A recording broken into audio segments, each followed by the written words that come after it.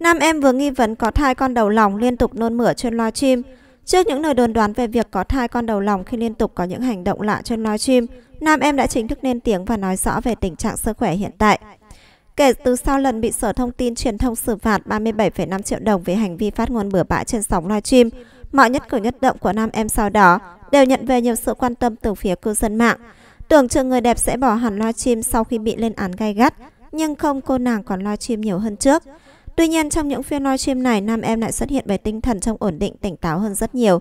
Người đẹp thoải mái ra nơ vui vẻ với người hâm mộ.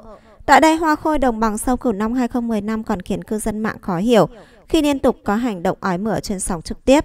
Cụ thể vào chiều ngày 3 tháng 3, khi đang phát livestream trò chuyện ca hát với người hâm mộ, người đẹp 9X bỗng dưng dừng lại để nôn. Hành động này khiến nhiều người đặt ra nghi vấn về việc nam em đang có thai.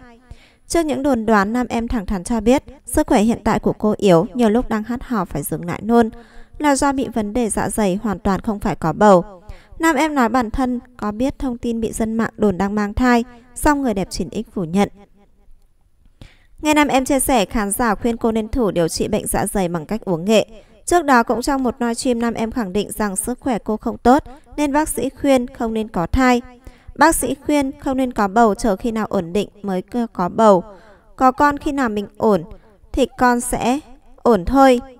Có rất nhiều người phụ nữ lấy con cái ra lợi dụng đàn ông. Nhiều người cũng khuyên tôi cặp đại gia đi để có con.